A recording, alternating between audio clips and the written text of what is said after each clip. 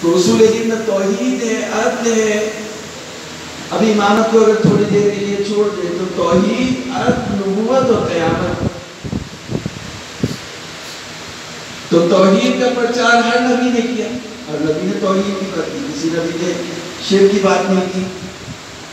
ہر نبی کی نبوت کی بنیاد عدل کے اوپر تھی کہ اللہ تعالیٰ عادل ہے۔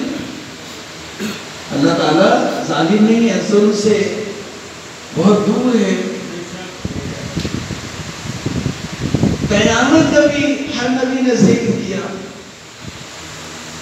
اور نبوتیں چلتی رہی، نبوت کو وہ لے کے چلتے رہے۔ اسی طرح سے آپ فروع دین میں آئے۔ بھائی توجہ سے سنیے گا کہ اصول دین ہر نبی لے کر کے آئے اور فروع دین میں حضرت عیسیٰ مریم کے بارے میں یہ آیت قریبہ ملتی ہے کہ اوسانی بالصلاۃ والزکات معذور ہو گئی جب تک میں زندہ ہوں، مجھے وصیت کی گئی نماز کے اور سکات کے بارے میں۔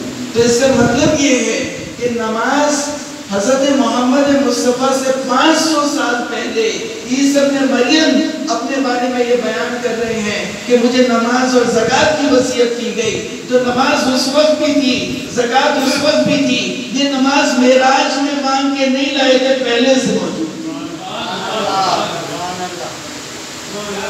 تھی صلاح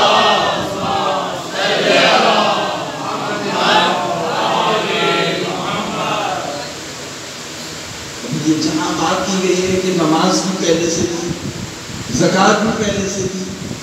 جہاد بنی اسرائیل پر فرض ہوا تھا، جہاد بھی تھا۔